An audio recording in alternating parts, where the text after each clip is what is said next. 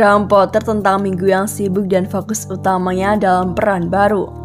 Potter diperkenalkan kepada wartawan di Stamford pada Selasa sore, hanya lebih dari 24 jam sebelum dirinya memimpin The Blues untuk menghadapi Salzburg di Liga Champions.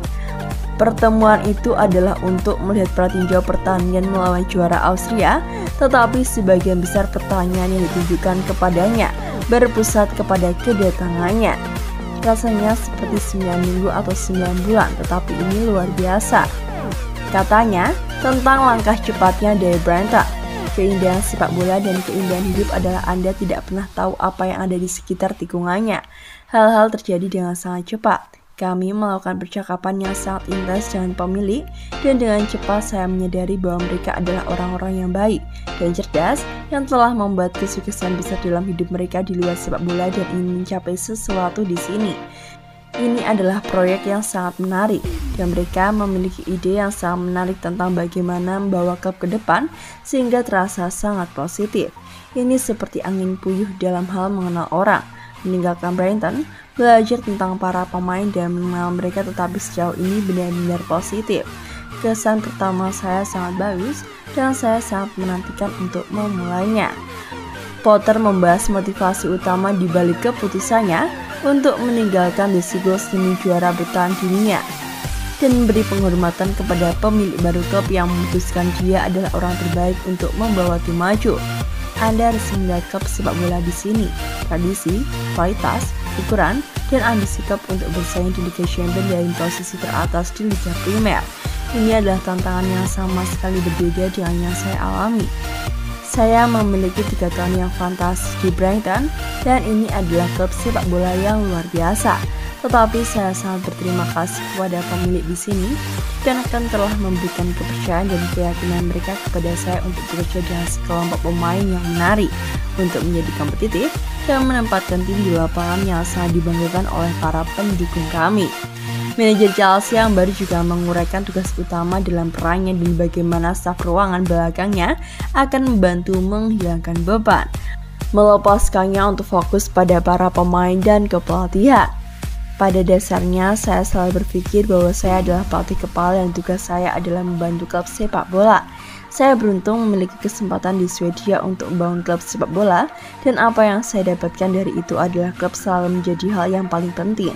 Kami di sini hanya untuk melayani klub dan melakukan yang terbaik. Kelly adalah salah satu anggota staff saya yang telah bersama saya selama 10 tahun.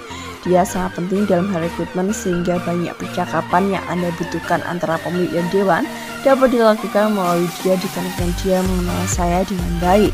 Dia tahu bagaimana kami ingin bermain dan dia tahu budaya dan lingkungan. Percakapan itu ulang Percakapan itu sering memakan waktu jadi dia sangat penting bagi saya.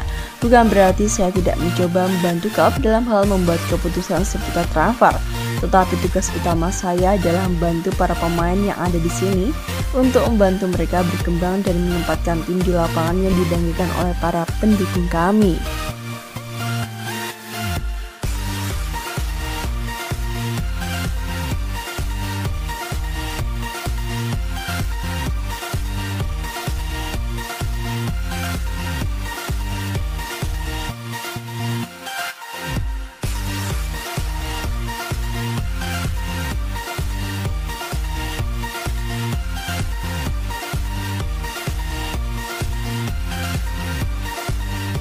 Jorginho, Tuchel dipecat dikarenakan pemain-pemain Chelsea.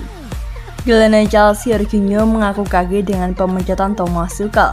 Jorginho mengatakan pemain-pemain Chelsea juga bersalah sehingga Tuchel diberhentikan.